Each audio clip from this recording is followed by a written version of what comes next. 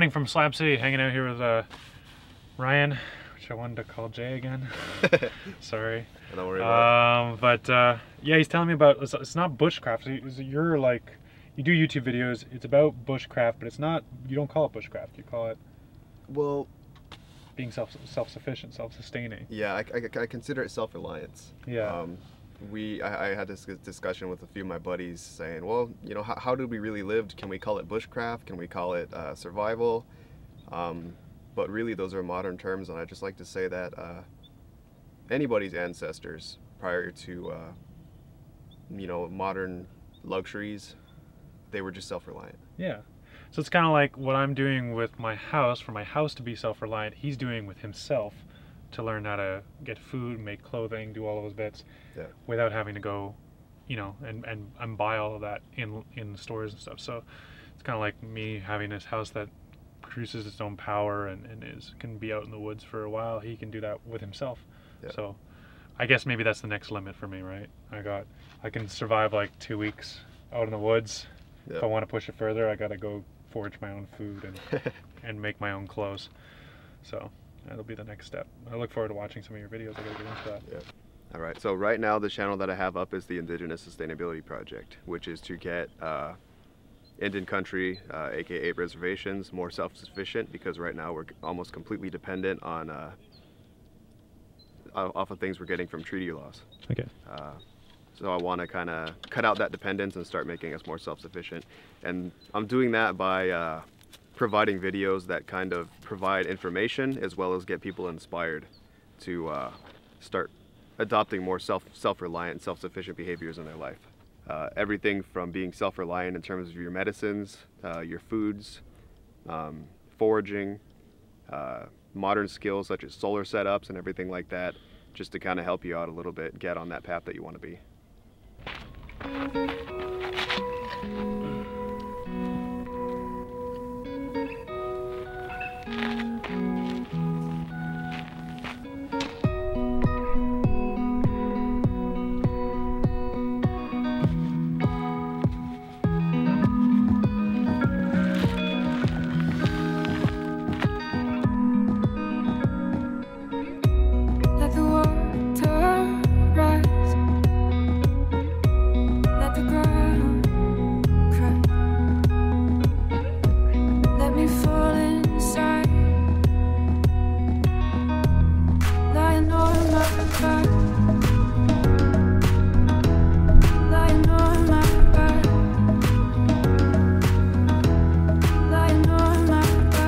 That's enough slabs for me. I am uh, glad I came, but I'm a little tired of the place. It is the weirdest retirement RV community I've ever seen. And I'm glad it's here, and I think it's an amazing place, but uh, I don't think it's the place for me. So, back on the road.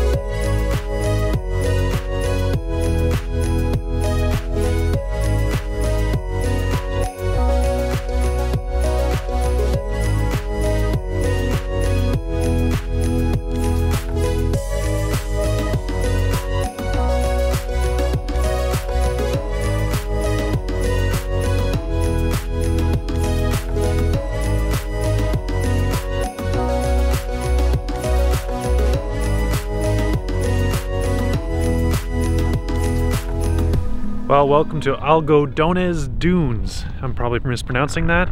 I didn't realize it, but because it's uh, the Christmas break, everybody and their uncles are here, so really popular. Loads of loads of things to see. And check it out. Dry your smoke stung eyes So you can see the light You stare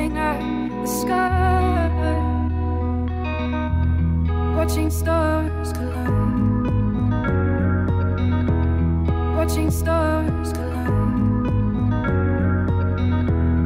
Watching stars. When the time comes. On the last day. When they start to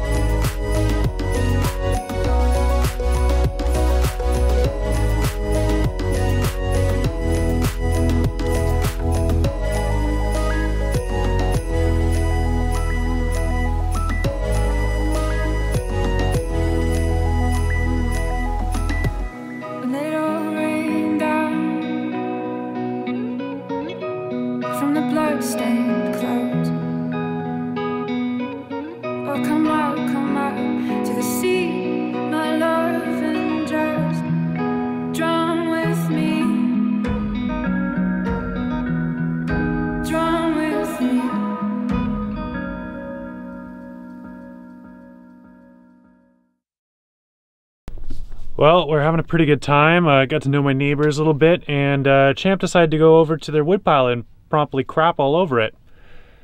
Yeah. Who's a bad dog? You're a bad dog, Champ. You're a crap-filled bad dog. I don't know, man. I think I think he's got some of that slab city mentality right now. He's not listening to anything I say. He's sticking it to the man.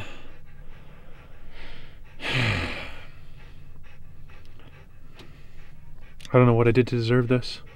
Okay? I've been nothing but a good human for good dogs. I get this bad dog. It's bad.